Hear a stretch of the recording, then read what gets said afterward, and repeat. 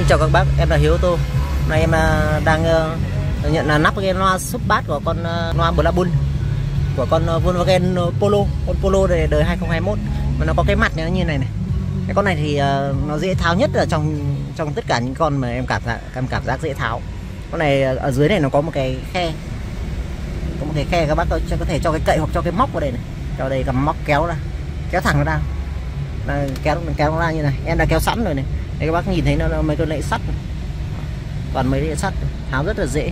Cái sắt thì nó ôm vào đây tháo là không không cũng không sợ gãy đâu.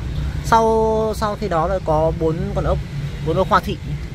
Bốn ốc hoa thị này. Thế là tháo nó ra là là gỡ được chiếc đầu ra rồi. Gỡ thẳng chiếc đầu là như thế này.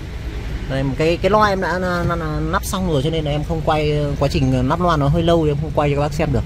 Đây cái rắc này thì ờ, nó đơn giản thôi. Rắc này thì cái rắc này ở đây nhé nó có cái bóp này có cái bóp và bóp vào còn kéo nó ra.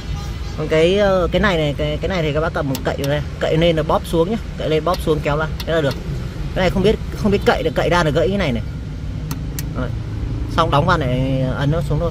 Còn cái này khi đóng vào, cái này khi đóng vào thì cắm rác vào nó nó vừa khớp rồi cứ ấn nó vào nữa là được. Bóp, nhớ ở đây, trên này nó có cái nẫy bóp nó xuống. Ok, rất đơn giản. Con này nắp nó súp nó hơi khó một tí nữa bởi vì cái đường đường AC của nó nó không có thứ nhất là không có đường AC và thứ hai nữa là cái ờ, lấy cái đường AC của nó cực kỳ khó. Nếu mà các bác ờ, bình thường lấy phải lấy từ tàu nữa cơ. Ờ, và nó rất là khó và cái cái hộp cầu trì của nó không thể tìm được nó nằm ở vị trí nào. Có thể hộp cầu trì nó lại có một hộp cầu trì đằng sau xe ở bên ngoài khoang xe nữa thì đấy là mệt rồi với nó nên đấy, em chỉ chỉ cho các bác thế thôi. Còn bây giờ em đóng vào, em nắp cái loa này. Những con xe khác nắp tầm khoảng 30 phút 45 phút, nhưng con này nắp hơn tiếng rồi, chưa xong bây giờ mới bắt đầu xong.